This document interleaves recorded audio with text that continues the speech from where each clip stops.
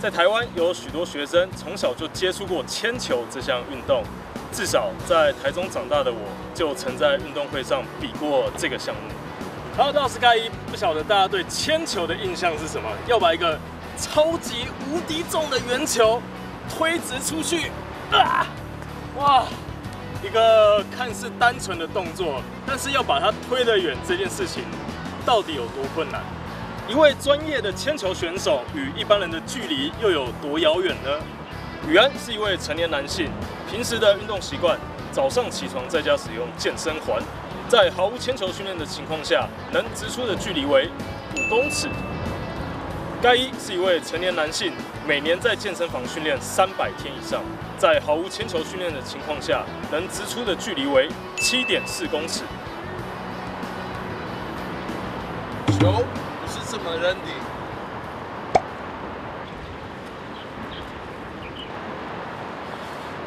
说什么？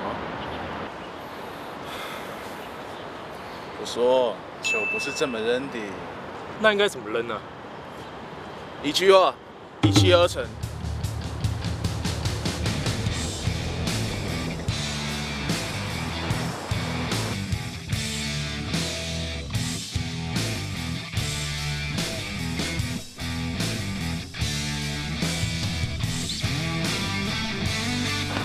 哇！哇！哇！想学啊？我教你啊！欢迎全大运三连霸，台湾族的骄傲，金牌铅球国手马浩维。Hello，大家好，我是浩维。太巨了吧，这名副其实的巨人呢。哇，盖伊你在旁边看起来都变瘦了。对我必须整场都要展展着背来跟他录这一集。那么巨，难怪可以把铅球丢这么远，铅球，不是这么扔的。他正常来讲，他是使用投掷的方式，要把球放在你的指尖上，紧紧的要靠在脖子，最后出手，再靠全身的力量把它送出去。手它只是一个媒介而已。哦，铅球它除了先天的条件外哦，它其实还要靠身体很多协调的动作，比如说动作要要从我们的脚到从脚哈从脚到我们的腰到躯干到我们的上肢，甚至到指尖，都会用到力气。一个看似很简单的动作，其实它是非常去难琢磨的一个项目。整个身体就像一个弹簧一样，嘣，然后就把一个球这样弹出去。对，不过我很好奇，就是，哇，哇塞，哇，这铅球多重啊？我们公开男生的标准球是七点二六公斤，十六磅。它就跟我的曲球一样啊，打保龄球那颗曲球。铅球它我们分 U 十八跟 U 二十，再来就是直接跨越到成年组。男生 U 十八的重量是五公斤，哦，五公斤。那 U 二十的重量是六公斤，那再来就到我们公开组就是七点二六公斤，十六磅。既然这位是铅球大师，那我来考考你一个铅球小知识。嗯，知道铅球的由来吗？铅球它是由以前的战争，因为士官他不想要，可能不想要让自己的士兵太无聊，所以他们拿那个炮弹的子弹，它的那时候重量大概是刚好就7.26是七点二六，然后让他们来投掷来比远度，然后慢慢延伸到现在，对就变成变成变成铅球这个运动。对，好了，那今天呢，就来请浩伟来帮我指导一下，如何推铅球像个职业的国手一样。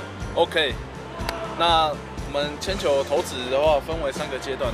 第一个是我们的 standing 站投，第二个是你的垫步，再来最终阶段就是要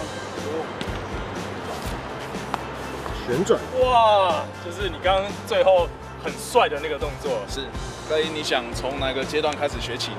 我三个都来吧，三个都。来，旋转的最终阶段。嗯那他会学习的话，可能会花比较长。哦，没关系啊，我今天时间多啊，这学起来可能也要有个半年的时间。那半年呐、是啊，所以这个影片冬天拍，然后暑假的时候才会上，对，差不多了，差不多意思啊。垫步就好了。我们今天就那个站头定点的跟垫步，就可以吧？可以啊，应该就可以了。可以，好，好，简单多了。是，好，那我们就开始吧。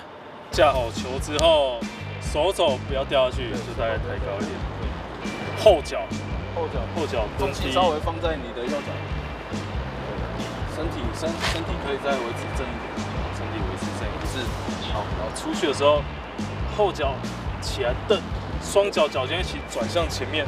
对，大概是这个动作。所以出去的时候，我的球在手上的这个重心会在，会在会在我们的手指，不是手指啊，是啊，哦，不是肩推哦，不是这里这样子推出去哦，是啊，手指，放放在手指头上面，好，这样就完成了。所以是要要大概这样子。是啊，记得铅球在出手之前一定要紧紧的、紧紧的放在你的脖子上，大概这个位置。一定要在这个位置。老师这样可以吗？可以，身体身体在维持手肘，身体身体再维持正正一点，对，然后 OK。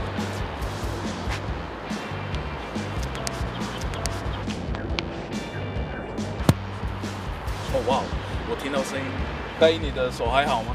哎、有什么声音吗？有什么啊？还好啦，还好啦。很奇妙的是，推的感觉不见了。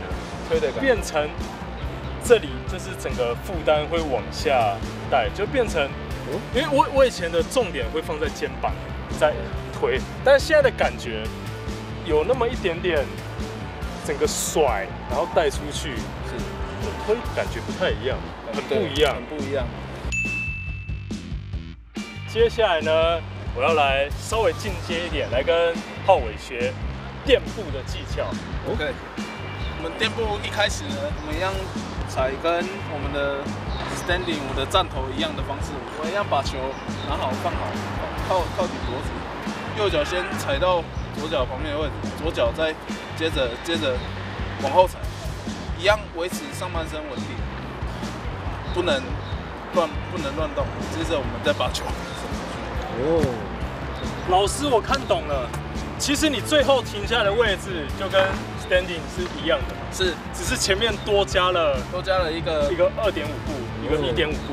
定着头的时候，它是粘着边缘，对那它这边好像会留刻意留一点点距离，对因为怕你出去之后，怕你越界。会后吧。对，不然如果你踩到这边再出去来不及，你就往前踩。对啊，有一个缓冲空间。铅球里面有一个规则，就是我们投掷完，我我们一定要保持稳定，保持稳定的回来，站稳，再由这两边的边线的后面走出，这样我们才算成功投掷。投掷完踩到上面失败，踩出去外面也失败，走走在线前面走出去也是失败。除了这个身体出界犯规之外，在铅球上面你扔纸，它上半身它是不会有其他犯规问题。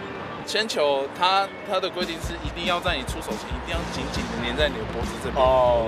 不能够用抛的或者是怎么样之类的动作下去做。哦，，所以还是要还是它有一个位置它还，是有一个位置在，就是你一定要紧点靠靠紧你的脖子，这算是一个比较符合符合符合人体工学，至少，但基本上人不会去丢那么重的球，对啊因为太容易受伤。对，很容易所以演变成这个铅球的扔纸动作，应该算是比较安全、相对安全的对相对安全。对，如果你是用丢的，应该一球你肩膀就爆掉。，对，不是你的肩膀爆，就是你的手肘爆，哎，手肘爆，对，关节处都会爆掉关。节处在国手的指导下，颠覆了我过往的迷失。在之前呢，我一直以为铅球的压力会落在手掌的底部，就像卧推、肩推一样的位置。但原来铅球要在掌面的上半部到手指的位置，而非下半部。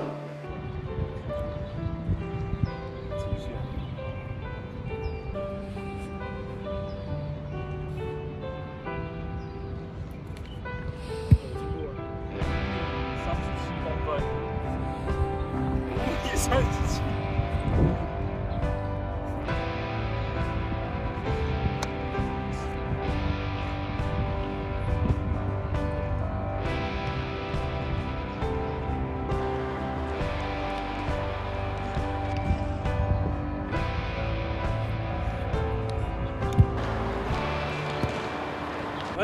不是有进步了？有进步了，有进步对不对？五米八零了，五米八零了，接近六米了，耶！可以啊，可以稍微重心再降低，稍微对，先一个右脚进来，左脚一踩好，左脚一踩好，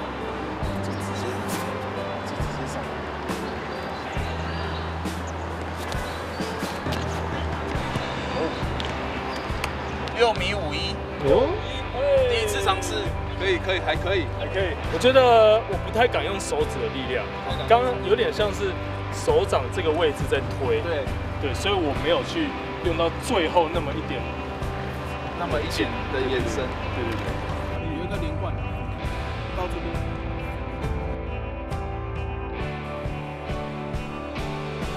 我还没找到那个甜蜜点该要一气呵成啊！啊！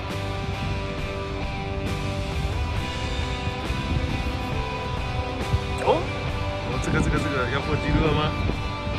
哎呀，多少？七米三五，好啊，七米三五，逼近了。一直有在进步，这才是最重要的，一直有在进步。哦，在调整了我的步伐，双脚站得比原本窄一些，以及过度后倾的上半身角度，让我更好运用下半身的力量转换到上肢，去把球带出到更远的距离。我想这就是国手口中说的一气呵成。盖伊的最后一球。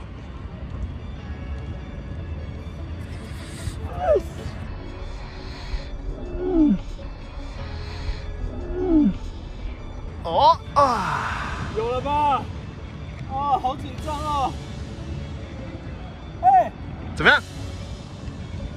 七米九三，七米九三，尺九十三公分。啊，可以呀！哎，我们练到太阳沟下山嘞。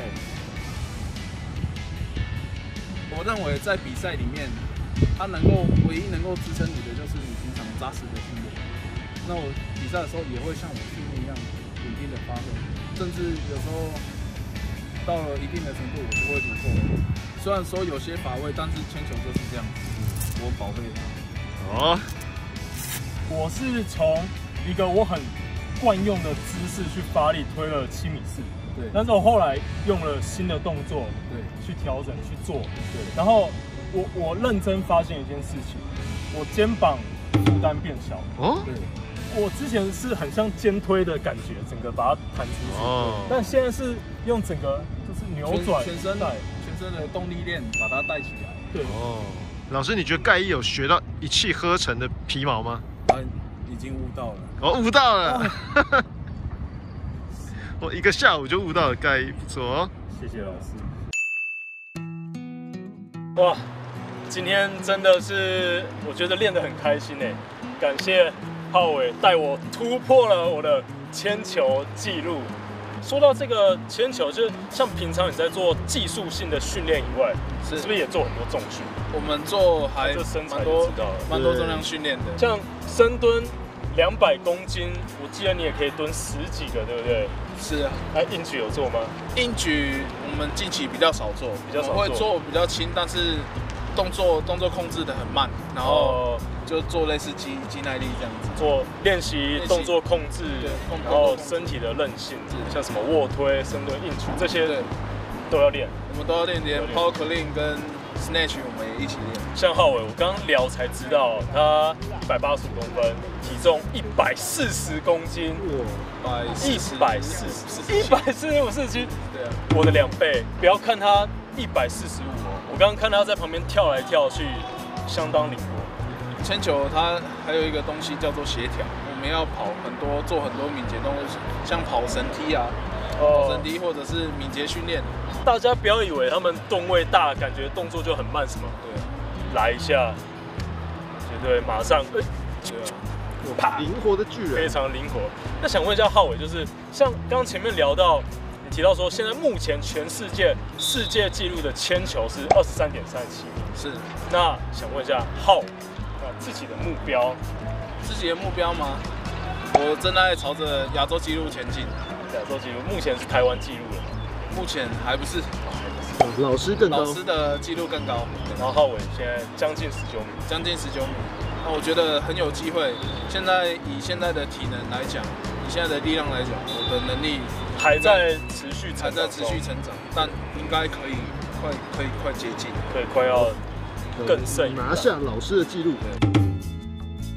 好，那今天的影片呢就先到这边。那今天非常感谢浩伟带我，也带大家认识了铅球这个非常神奇的运动项目，是非常有魅力，竟然可以有那么多技巧，让你很舒服的把那么重的球把它抛出去。对，好，那么有任何问题呢，都欢迎在影片下方留言。我是简盖一，浩伟，我们下次见，拜拜。